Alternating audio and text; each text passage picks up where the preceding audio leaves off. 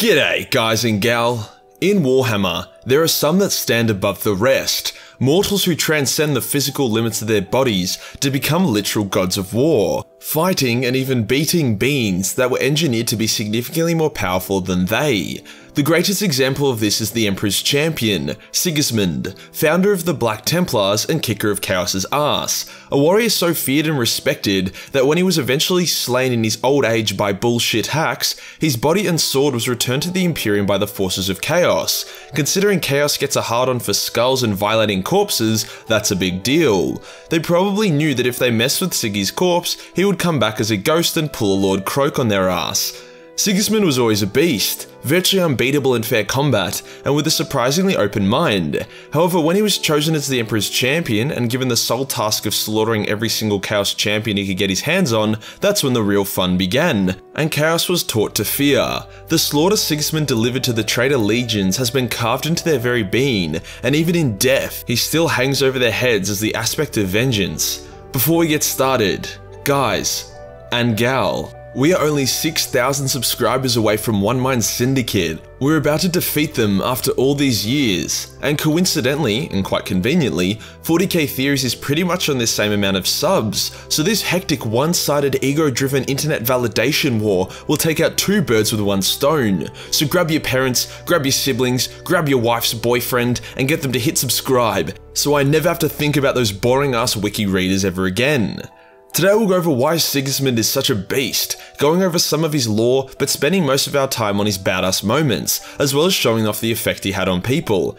Let's get into it. Sigismund's rise to fame and glory was astronomical. Unlike a legendary marine like Dante, Sigismund was born on Terra, but his pre-space marine lore is mostly unknown, as it's so irrelevant compared to what he became. Acting as Dorn's first captain from nearly day one, Siggy would distinguish himself time and time again on the battlefield. The funny thing about Siggy is that he wasn't very tactically adept or a military genius, he was more or less just 40k's version of the Master Chief, as he charged headfirst in the worst possible situations wins, winning each time because he was just such a god tier warrior. That's not to say he was a retard though. He had an open mind and craved knowledge on how to improve himself as a warrior. For example, when the Imperial Fists were tasked to fight alongside the World Eaters, Siggy became bros with Kharn, and even begun to chain his sword to his arm like the World Eaters did, like some kind of hardcore gladiator. This was obviously when Kharn was a bro, not his currently unlikable asshole brain iteration. He was nicknamed the Black Knight after kicking so much World Eater ass and receiving an especially dark spray tan, making Siggy one of the only Astartes that held genuine awe and respect from the savage World Eaters. No enemy or even ally could match Sigismund. In all his hundreds of duels against friend and foe, he was only beaten once, and that was due to bullshit cheat hacks. That duel was against one of the only likable Night Lords, Sevatar, who could see the future. Both warriors fought for dozens of hours non-stop. Sevatar was considered an unbeatable duelist as he was an amazing fighter and could see every move his opponent was about to make, but despite knowing all of Sigismund's moves, he couldn't beat him. Imagine knowing everything your opponent will do but still not being able to win. That's Sigismund. Eventually Sevatar ended the fight through an illegal headbutt, causing Sigismund to get clocked and Sevatar to be disqualified, adding a lot of credibility to the saying, nobody wins in a headbutt. As a final note before we talk about Sigismund going Super Saiyan during the Horus Heresy, Sanguinius once said that Sigismund wasn't so much the champion of Dorn as he was Death Incarnate. That's a huge compliment coming from fucking Sanguinius who is literally the Angel of Death. When Horus's male pattern boldness finally got the better of him, causing his insecurities to emerge, thus allowing him to sell his soul to hell, he declared jihad against the Emperor and the Imperium. Sigismund and the Imperial Fist were some of the first loyalists to hear about Horus's bullshit. At the same time, Sigismund received a prophecy which was like, yo, you have two options, both involve death and suffering. Option 1, you die alone and unremembered. Option 2, you hang out with your Primarch and fight an unending war until you die. Sigismund was like, fuck yeah, unending war it is. Legend. As Dorn prepared for the Siege of Terra and Siggy was running around the solar system purging heretics with his big black girthy sword, he decided to tell Dorn about the prophecy. Dorn got mad and was like, bitch, stop being a bloody conspiracy theorist and take your vaccine. And Siggy was like, what? And Dorn was like, oh, uh, shit, sorry. I meant fuck you and fuck your prophecy. From henceforth you are disowned as a son of Dorn. But you're still my first captain because I like the way you kill people, boy. Did Sigismund allow his newfound status as an orphan to cloud his mind, to invite in chaos, to turn against his father who despised him? No, not at all. Siggy ain't no weak heretic bitch. He took this as a chance to fight even harder for the glory of his Primarch and the Emperor. Legend. Siggy proves this by taking command of the defences of Pluto, intent on holding back chaos for as long as possible. His defences are supreme, claiming countless heretic lives, feigning a retreat before re-engaging to kill more and more. Eventually the traitors are too numerous, and little Horus Aximand, that dickhead, teleports directly into Sigismund's flagship with a gigantic army. Now Siggy has a chance to escape, and even remembers the prophecy, but he's like, fuck the prophecy, and he charges into the Chaos Marine army and begins killing them before they have even finished teleporting. In seconds, he's killed dozens of Chaos Field Astartes, Space Marines who are just as enhanced as he is, same gene seed and same gear. Siggy doesn't give a fuck though, and he becomes a superhuman blender. After suffering a dozen horrific wounds, Siggy comes face to face with Little Horus. Now Little Horus is a great duelist, and was fresh, but this is Sigismund we're talking about here. The wounded, exhausted Siggy gets really mad after Little Horus mortally wounds his mate, mad enough to go Super Saiyan 2, as Siggy proceeds to slice off Little Horus's arm and cut open his chest. His next strike would have killed the little bitch, but then Siggy was teleported away. Don't worry Little Horus, your death would soon come. Oh yeah, and he blew up Pluto and wiped out hundreds of heretic ships in the process. The best is yet to come though, as Siggy makes his last stand on Terra. Dorn is like, Siggy, fuck you're a lunatic aren't ya? Here is the best sword and armor we have. You are the Emperor's champion. You are his sword and chosen warrior. Your mission is to kill every single Chaos champion that you can find. Then the chick that gave Sigismund the original prophecy that got him in shit told him that the Emperor wanted him to personally find and kill Abaddon. Hence Siggy, now decked out in hectic black armor with his black sword, went on to dunk on these fools. With the Siege of Terra raging around him, Siggy tore through Chaos's clenched arsehole like a spiky butt plug. Legendary traders whose names were spoken in a hushed voice across the galaxy were turned into Siggy branded sashimi with barely a flick of the Emperor's champion's wrist he finally met his match against the now insane Kharn the Betrayer. Now, I don't really like how this fight went. Basically, they fight to a standstill, then Kharn gets sucked off by Khorne, gets overpowered, beats Siggy, but then Dorn just comes out of nowhere and bitch smacks Kharn like he's a little insect and that's that.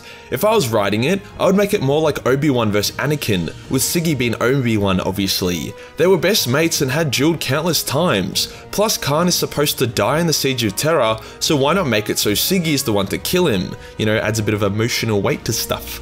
I know there is still a book to come and maybe they'll get their rematch, but Kharn once again winning through pure rage against the legendary Sigismund is just a bit dumb. Maybe it's because I love Jiu-Jitsu, and in Jits, angry people are the easiest to beat, so this rubs me the wrong way. Or maybe it's because Dorn running in and clapping Kharn would be like Yoda jumping out of nowhere on Mustafar and one-shotting Anakin at the climax of their legendary duel. Either way, Siggy did cop a loss here.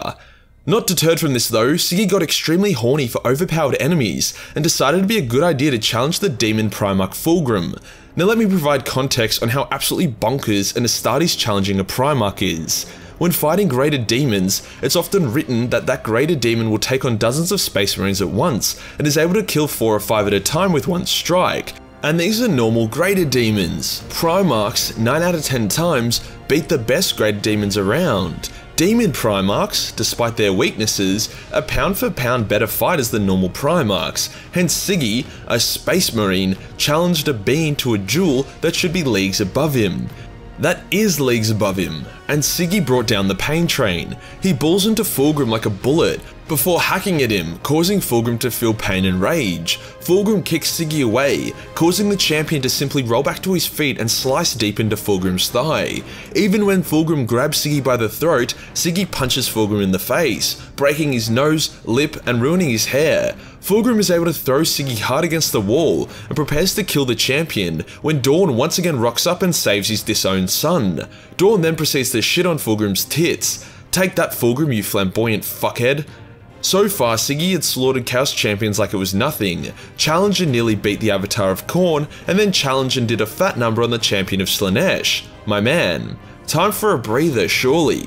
Surely not! Siggy just getting warmed up! After another badass called Garviel Loken had killed Little Horus and numerous other traitor champions, Siggy only had one more target on his list, Abaddon himself. Sigismund, the Emperor's champion, tore through chaos like it was nothing, massacring thousands of the best and brightest the ruinous powers had to offer, all to get to Abaddon.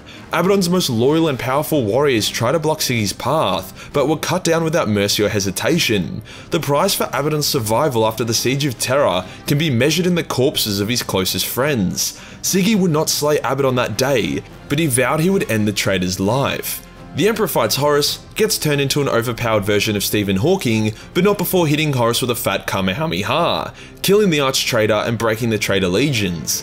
The remaining loyalist legions are broken up into chapters, with Siggy taking command of the more zealous Imperial Fists, calling them the Black Templars. As the galaxy enjoyed a period of peace after the Marines like Siggy genocided chaos throughout the galaxy, the Imperium grew soft. They assumed the remaining traitors had died, but not Siggy, for 1,000 years he stood watch over the galaxy, anticipating Abaddon's return. Now Space Marines can live for thousands of years, but they begin to properly age around after 600 years or so depending on the Marine and, you know, their gene seed and shit. By the time Abaddon returned, Sigismund was over a thousand years old. He was still a legend, but he was just a bit slower. Despite this, when Abaddon and Siggy came face to face, with Abaddon still being youthful and even further empowered by chaos, before they fought, Abaddon, out of respect and fear, begs Siggy to join Chaos and try to convince him of the traitor's cause. Siggy simply replied, You keep speaking, Ezekyle. Do I look as though I am listening? Damn, dude, I don't know if Sigismund is more brutal his sword or his words. The two fought. Abaddon's power, youth, and skill stacked against Sigismund's badassery. They fought for hours, neither one getting the advantage over the other. Siggy's age began to take its toll, and he knew he couldn't keep this up. Hence he baited Abaddon into opening up his defense and with a masterful strike, shoved his black sword through Abaddon's chest. Now literally anyone, anyone, would die from getting impaled with the gigantic black sword, but plot armor kept Abaddon alive, allowing him to cut Sigismund in half with his talon. Even in two pieces, Siggy was still spitting fire. He said word for word, you will die as your weakling father died, soulless, honorless, weeping, ashamed. God damn. Usually I alter people's quotes to make them funny or make a joke out of it, but I decided not to fuck with Siggy's insults because they're just too damn perfect. Now despite Siggy being Siggy, severe disembowelment just isn't a state of being that you can sustain for long, hence Sigismund, champion of the Emperor and kicker of chaotic ass, died.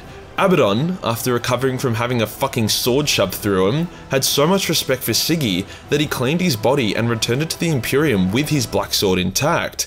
He claims he did this as a dramatic way to declare war on the Imperium once again, but he, we all know it was driven by fear and respect. Fear that Siggy would one day come back to clap some ass. Legendary space marines have come and gone since Sigismund's death, but none have been able to match his skills, willpower, and level of fear that he struck into the hearts of chaos. Except maybe Tiberius, but that guy's absolutely fucked. And that does this for today guys, the lore of Sigismund and why Abaddon was scared of him. If you enjoyed this video and want to support the channel, then Patreon is the place to be, where only $1 per month give you access to a boatload of Warhammer hentai. Hit the subscribe button, then hit the real subscribe button for more fearful content. Join the Discord for more memes, and I'll see you in the next one. Peace.